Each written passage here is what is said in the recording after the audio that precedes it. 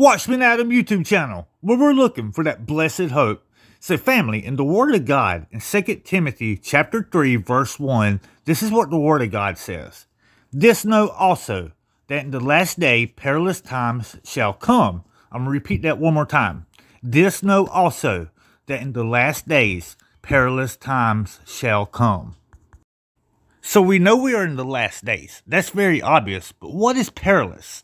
Perilous is dangerous, unsafe. Are we living in dangerous and unsafe times? Are we living in perilous times? Let's look into that. Family, I think it's very safe to say we are living in perilous and unsafe times, very dangerous times. Not are we seeing rumors of wars, wars about to break out. We are seeing shootings. We are seeing volcanoes. We are seeing earthquakes, tornadoes, bad storms, civil unrest, and a lot of hate in the world, just as the Bible said we would right before the Lord returns.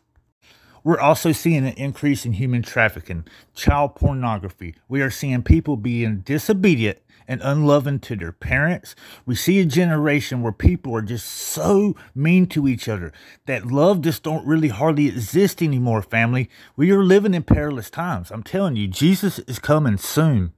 It's really important in these times that we shine Christ's love to the world because people need to see the love of Jesus. People need to know that God loves them and that God sent his son to make atonement for their sins.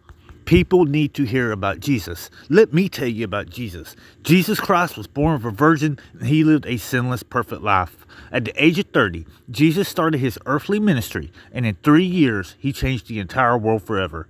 At the age of 33, Jesus Christ went to the cross and spilled his perfect, innocent blood for the remission of our sins, and lay dead for how long, family? For three days, three days, three days. And that third day, he busted that tomb wide open. He ascended to be with the Father. Now, on this channel, we know he's coming back for us soon.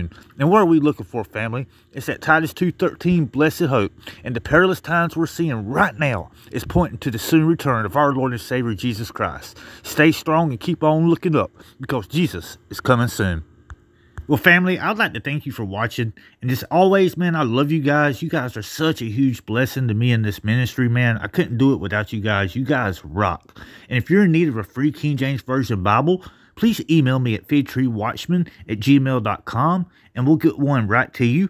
And if you're new here, hit that subscribe button to join our family. You are truly more than a number here. You are loved and appreciated. And if you feel led to donate to the ministry, you may do so via Cash App, PayPal, Venmo, or by mail. There's more information in the description box below. It really helps out a lot, especially with our mission of helping the homeless. Till next time, Watchman out and signing out. Stay safe and keep on looking up.